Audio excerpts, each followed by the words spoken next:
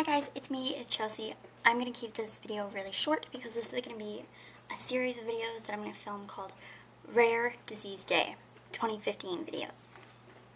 So today I'm wearing a lot of blue, in case you can't notice.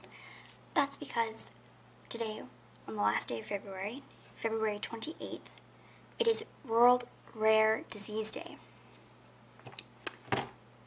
Rare Disease Day is an advocacy, an international advocacy day to recognize and raise awareness for all types of rare diseases and conditions.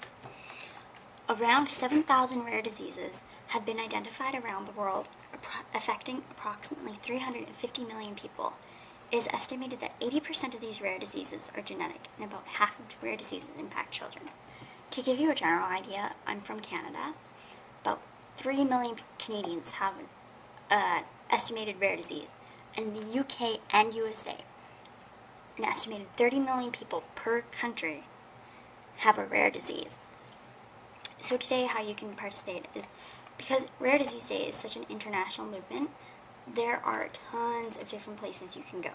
Rare Disease Day 2015, which I believe is UK, and they are encouraging you to use social media platforms like across the board, not just this particular one, but to use Twitter, Facebook, YouTube, Instagram, blogger, blogs, um, to raise awareness about rare diseases like um so it can be short because I'm going to be listing a whole bunch of other videos, but yeah, you can use the cam the hashtags hashtag RDD2015 or WRDD2015.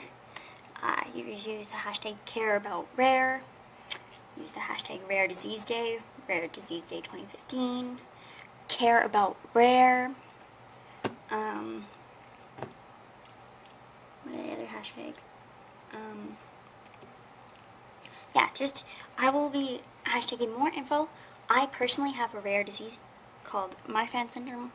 I will be talking about that in another video, so look for those videos. I'll also be like linking blog posts and all this stuff. So, yeah, guys, wear show that you care and wear that you care. So wear your blue jeans, wear blue, wear little blue ribbons or jean ribbons if you have them, which is play on words, and look for my other videos. Bye guys!